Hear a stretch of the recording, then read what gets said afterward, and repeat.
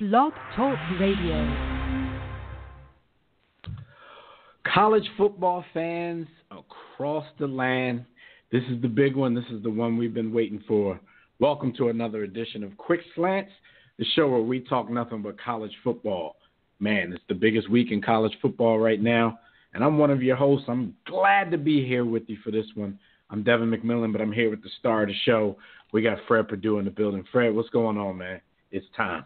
What's going What's going on, man? It is it is time for well, we this is a rivalry game. This is a the probably the biggest game, and quite honestly, college football fans are happy, but I don't know. I don't think enough people are hype about this. We got a lot to talk about.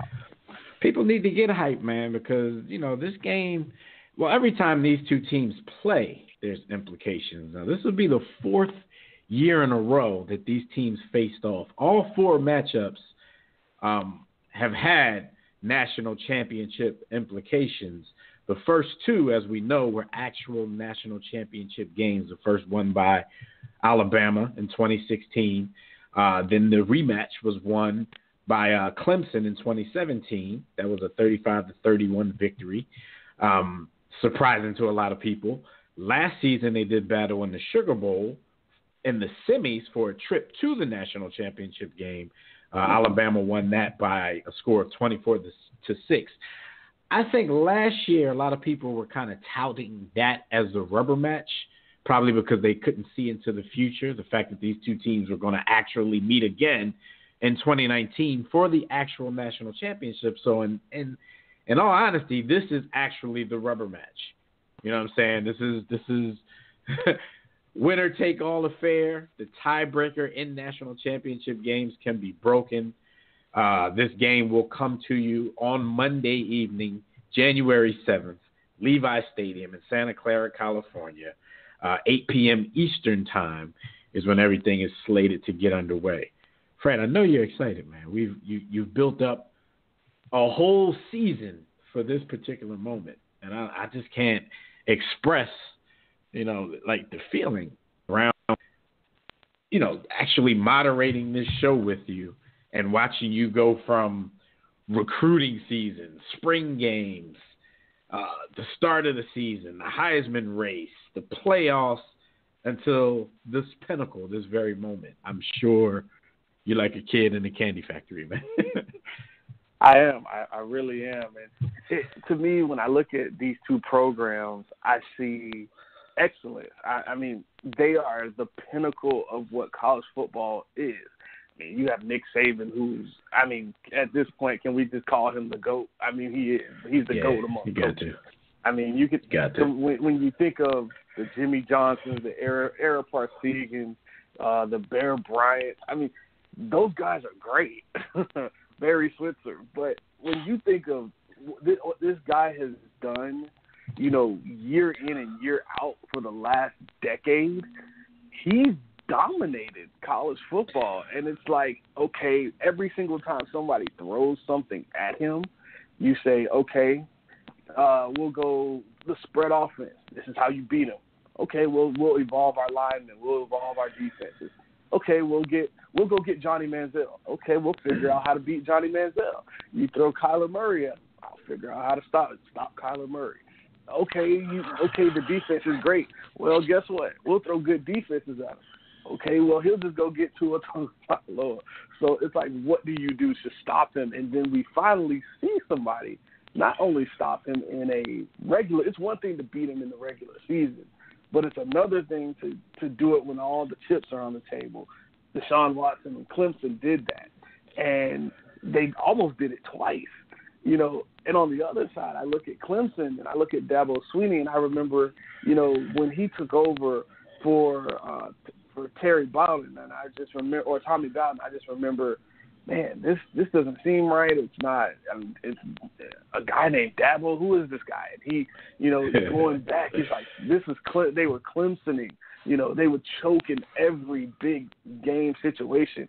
But it seems like he's built an SEC like team and many teams outside of the comp, outside of the SEC, you see Urban Meyer do it, and he can do it every few years, and but he doesn't have the the continual speed on defense or at other skill positions.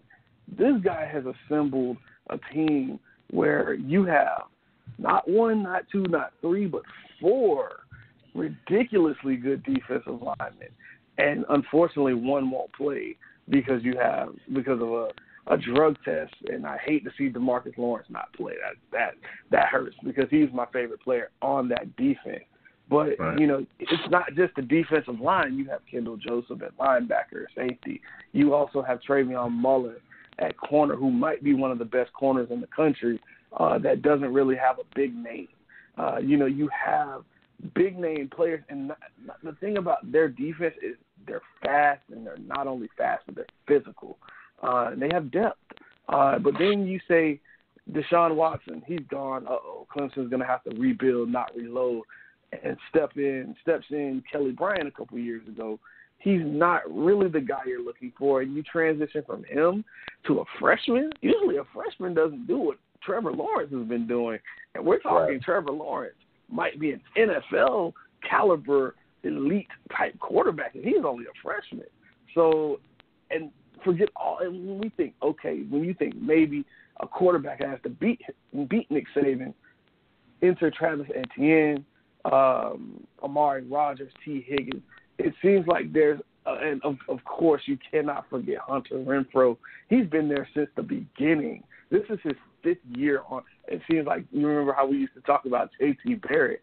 It seems like it seemed like J.T. Barrett at Ohio State was in college for 15 years you know, I feel like Hunter Renfrow's been been in college for like a decade now because it just seems like he's always there. He's Mr. Consistent, and you know, these two teams are everything, and yet people are complaining that you know there's no there's no parity in college football.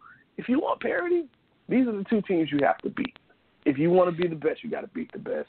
And right. my only gripe about this game is why do you put it in San Jose, California, there's no there's no sense of college football out there. There that's a pro town. That's a you know leave it with the BCS Bowl. Put it in the Rose Bowl. Are we playing in San Francisco 49er Stadium? Come on. All right, but look, you you brought up um, Trevor Lawrence. Um, so before we get to the keys to the game, let's talk about the the quarterback matchups in this game because of course in one corner you have um, the proven veteran, even though he's you know he's only a sophomore. But you have Tua uh, Tagovailoa. I think that's the first time I ever said his name. I hope I said it right. Um, of course, he's just a sophomore, but he was the runner-up for the Heisman Trophy. We saw what he mm-hmm. did when he was inserted into the national championship game last season. Um, and in the other corner, you have Trevor Lawrence, a true freshman who who uh, uh, basically came in to replace Kelly Bryant in Week Five.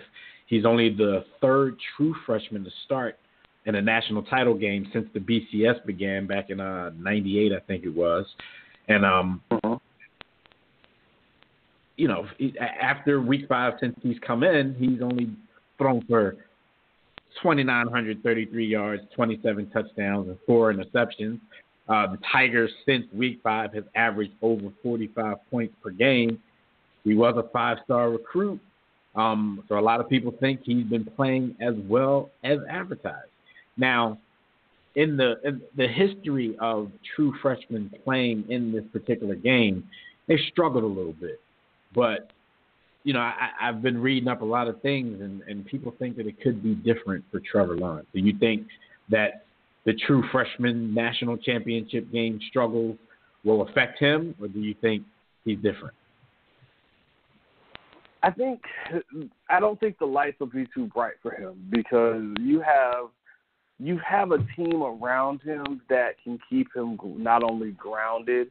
Uh, I I think throughout these weeks of practice, I think because Dabo has been there before, and that's huge in itself. That you know, you typically in a situation like that, your coach hasn't been there before, your team hasn't been there before. But a lot of these guys have been there already, have either won on the won a championship, been involved like a Hunter Renfrow. He's been on this whole journey his whole career. That's all he knows, you know. So he knows how to keep this guy grounded, you know, keep him in the right headspace. And you know, when you have a team, and that's the great thing about college football is, you know, when you have a team around a guy, you got you can keep a guy focused. You can tell him, hey, this is what you need to do. Don't don't overthink it. You know, just do what you do for a normal game. Just think of it like any other week against a tough opponent versus thinking thinking of it as a national championship game where you have to be a hero. Just do what you do, and that's what Trevor Lawrence and company is uh, going to have to do because this is probably the best team they've seen all year. All right, so the other side, of course, we spoke about the young veteran, the sophomore veteran in this situation, uh, Tua. What are your thoughts on him entering this game? Man, um, last week in the playoff in the semifinal against Oklahoma, I said, "What's going to happen with his ankle?" Because you just don't know after a surgery. You've had a month to prepare, but you just don't know. It's uh, especially for a guy like him, he likes to move around in the pocket a lot. Um, he's more he is the pocket passer. He's not really going to be the guy to take off. He's not Jalen Hurts, but he looks sharp. And I think with him, he he out of of the two, he when you say veteran, it doesn't seem like it because he, he really didn't do a lot last year until about maybe a half of a game in the national championship, and he struggled for a half of a half. so you know when I look at how he has evolved not only as a passer but his confidence. You know, the I see holes in his game, but for you know when I look at his game, I say he he likes to throw the deep ball. He has a he has a ton of weapons. Irv Smith, uh, Jerry Jeudy, uh, Jaylen Waddle, who went from who's gone from a uh, from a punt returner, kick returner to their number three or four receiver. You know, uh, Isaiah Ruggs, and all these other guys. You know, you have tons and tons of receivers, and yeah, that's fine and that's great. But what does Alabama love to do? Run the football, and that's what helps him so much because the run it opens up the passing game like no other, and not many teams can truly run the football when they want to, and that's what makes him so dangerous. Um, his for me, his weaknesses not many, but it's more of a decision thing. It's he wants the big play all the time. He doesn't he doesn't check the ball down when he needs to. He'll try. He likes to play a little bit of hero ball, and I can't blame him because he has the weapons, he has the arm, he has the talent. You know, he tries to be Superman, and sometimes being Superman will kind of hurt you.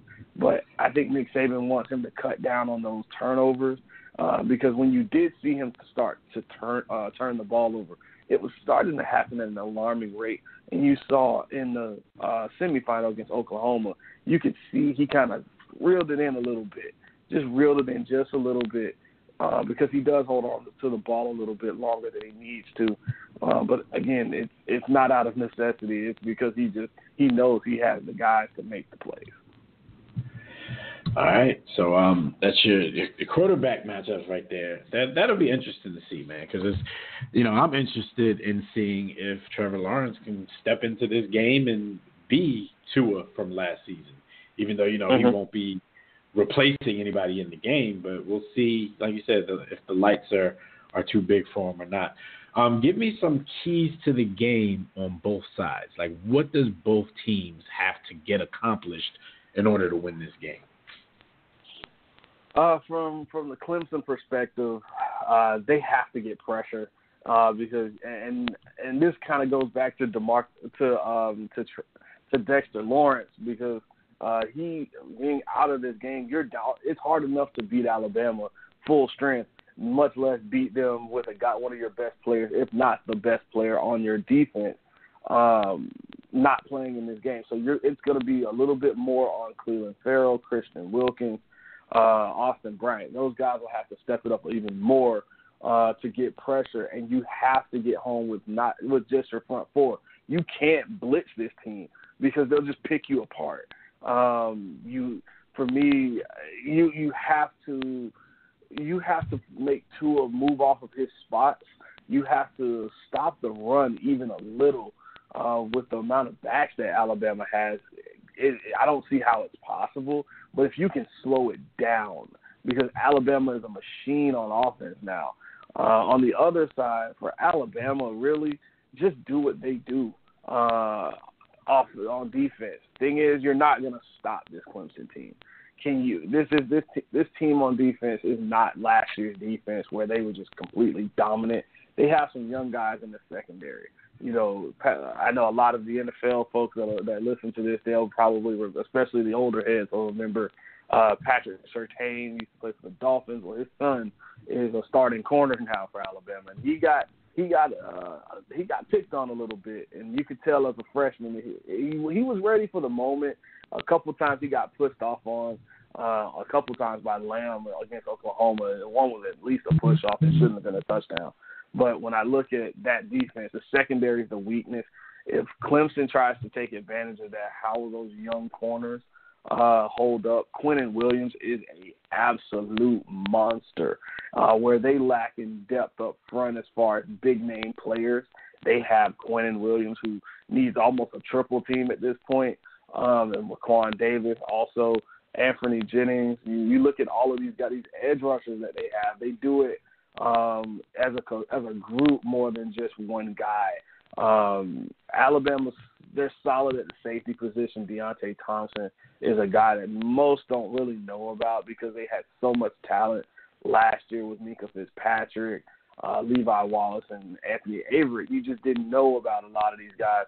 But uh, McKinney at safety, uh, as well as Deionte Thompson, those guys. One, McKinney's more of a hit you in the mouth kind of guy, and uh, Deionte Thompson is just a straight up ball hawk. You'll see those guys in uh, in the NFL draft this coming uh, this coming May.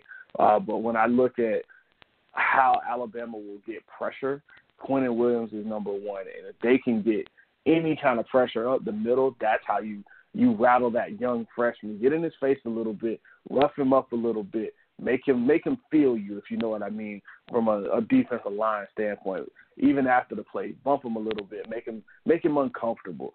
And if you can stop the running game or even slow Travis Etienne down, I think that's going to be a huge thing. Uh, will that defensive line get tired? Because that was the key to winning for Clemson, winning a national championship a couple of years ago with Deshaun Watson. They ran 90 plays, and you just can't. It, and to put that in perspective, I know when we think of spread offenses and how teams run up tempo, in the NFL, most teams only run about maybe 60, maybe 70 plays max. So you're running 20 more plays than any other team, the uh, up tempo NFL team uh, will run. So and that's, that's and that's on college defensive linemen who, yeah, you, uh, they're first round talents, but they don't have the conditioning of an NFL player. They're still getting there. So if you have those guys on the defensive line at Alabama just sucking wind, hands on their hips, by the fourth quarter, not wanting to tackle anybody, uh, that'll be something that I'll probably keep a, a huge eye out for, uh, especially heading into the latter part of this game. But I think it's going to be this is going to be a you're going to see a lot of jabs early um, on both sides. Uh, you won't see a ton of haymakers in the, in the set until the second half. Both teams are second half teams, and they make once they make their adjustments to the adjustments, as as Coach Saban will say, that's when you'll see um, the real game within the game actually take place. All right, so give me some some X factors on on both teams. Um, like you, you told us what each team needed to do to win the game, but actual players who will be X factors in in the success of their team or the failure right, of their team. All right, I'll give you one on defense and one on offense for both teams. Offensively, Irv Smith Jr. Uh, he's a, uh, just a, un, a very athletic tight end. Um, I if we remember back a couple of years ago, we remember OJ Howard and how you know the criticism of Nick Saban on offense was that he never really used his tight end, despite having one of the best tight ends in college football, and we saw that come out in the national title game. Well, Irv Smith has been doing it all year long, and you know he's he's a matchup nightmare. That's the one thing you hear about tight ends all the time nowadays. They can't block, but guess what? They're big receivers who are really fast, and you can't put a safety on them. You can't put a linebacker on them. You definitely can't put a corner on them. So how do you beat them? Um, he's going to be huge in their passing game. Um, for me, I, I don't. Do you put Kendall Joseph on them? Uh, probably too fast for him.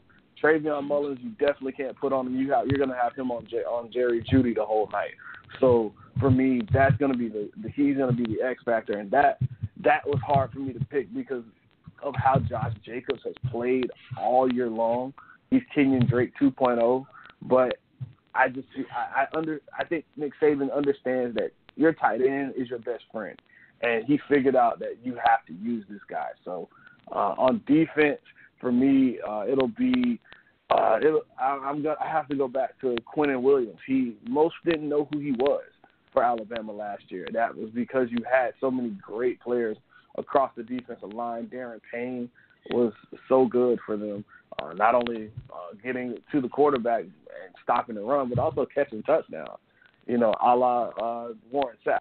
So, but Quentin Williams is he's a nose guard, but he's not your typical you know nose guard. He's he's like six four. He's like 280, 290 pounds, but he's got the a very quick first step. And when he he can split double teams so well. I against Oklahoma, he split a double team and a back chipping, and still got back to Kyler Murray. And he fell on top of him, of course.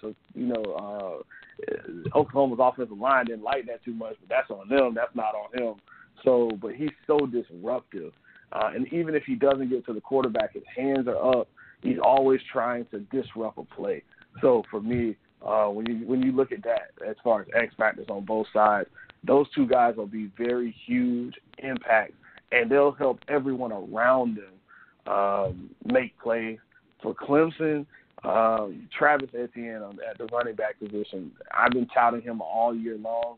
Uh, I said I said he'd be a very big Heisman uh, candidate. He probably should have been.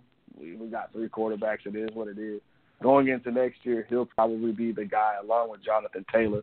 So he this is his one. This is his springboard game into next year. And if he has a big game in, in, in this national championship, he's really going to um, you're to have to have a big, big game. Not only running the football, catching the football, being in the in the blocking game. Uh, and on the defensive side, Christian Wilkins, this is his moment. He's a senior. He's already won one. He knows what it takes.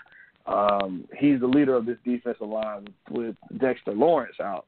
He's going to have to ratchet it up just a little bit more.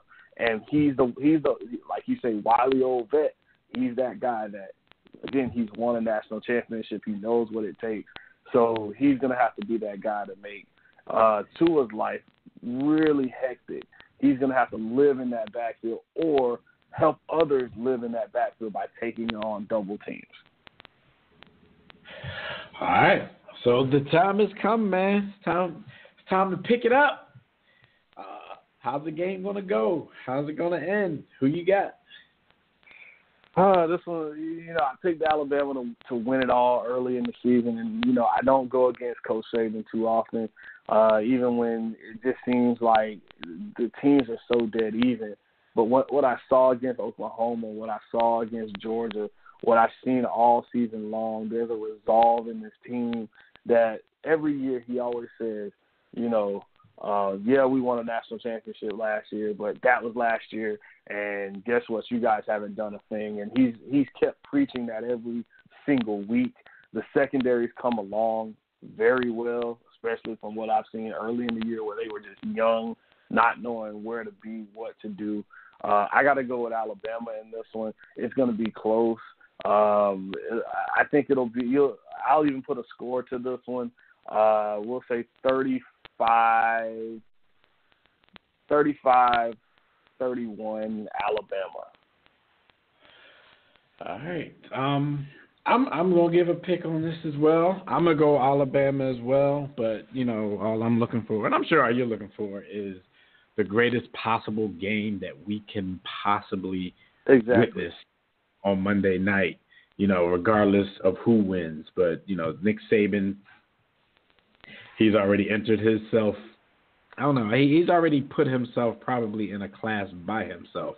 So winning another one, it, it's just gonna you know just further distance himself from the rest of the pack. this man has taken Bears program and turned it into a grizzly polar hybrid. yeah.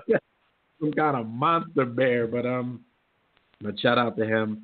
Uh, shout out to Dabo. We're hoping for a great game on Monday night. And of course, I mean if you if you listen to this show, then you should know plenty about college football, but just in case you, you don't and you're just giving it a shot, once again, the, the 2019 National Championship game will be played Monday, January 7th, uh, Levi Stadium in Santa Clara, California. Alabama versus Clemson. Uh, the game time is set for 8 p.m. You know, we know it's going to be a lot of talking heads prior to the game, so kickoff will probably be in the minutes uh, pro- proceeding that. But 8 p.m. is when everything uh, basically gets kicked off on the network. So, um, Fred, man, I, I, I'm I'm praying for a good one, man. Monday night, let's get it. You got any parting shots for the folks before we uh, sign off and, and, and, and eagerly await this game? 2019, the 2018-2019 season has been um, a roller coaster. If anything, I mean, we've had everything from um, a team, a, a group of five schools thinking that they were they were ready for what this is what this these two teams are about to do. To you know, you've had two teams that are meeting for the fourth time.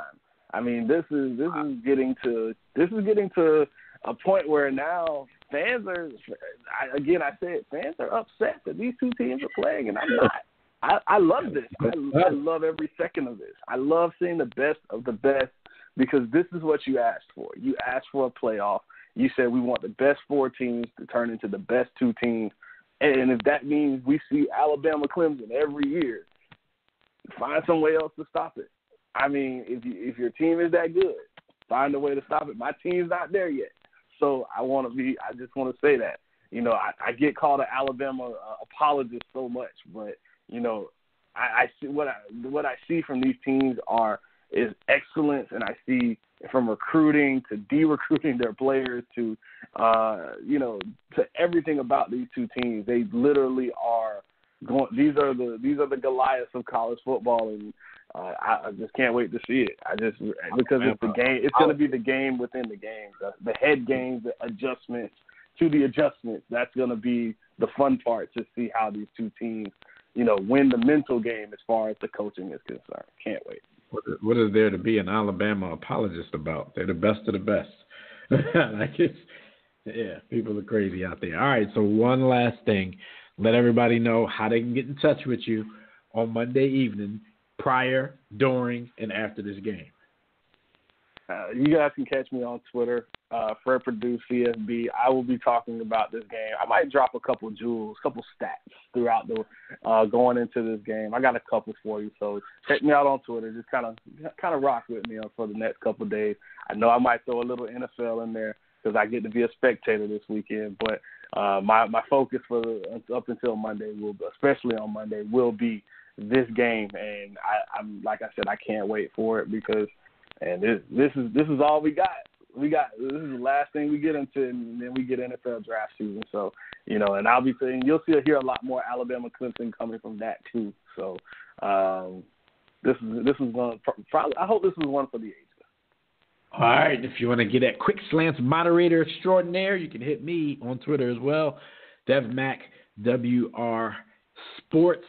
Um, you can also hit me on the War Room Sports Twitter account as well. It's at War Room Sports. Uh, we'll be talking uh, national championship on the GroupMe app and the War Room Sports Game Time group within the GroupMe app. So uh, if you know, search for that if you're on GroupMe. Uh, the War Room Sports Facebook page as well. Um, if you want to catch archive episodes of Quick Slant, so you know what Fred was talking about leading up to this big moment all season, you can go to the War Room Sports YouTube page. You can also find that at warroomsports.com. But the big game is here. It's almost time, a few days before kickoff. Uh, we're going to sign off. This has been another edition of Quick Slants. And for the star of the show, Fred Purdue, I'm Devin McMillan. Don't accept mediocrity. Be steadfast in the war against ignorance. We'll see you chumps on Monday night, and we'll see you chumps on top. Peace. War Room Sports. www.warroomsports.com. What? Ain't no more to it.